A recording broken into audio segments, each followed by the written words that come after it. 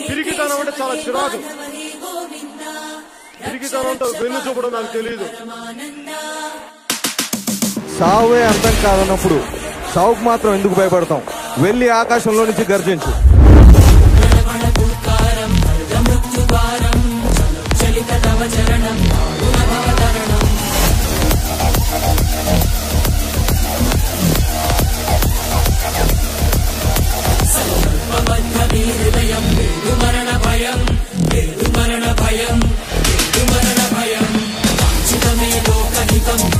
सुन्दृत रथं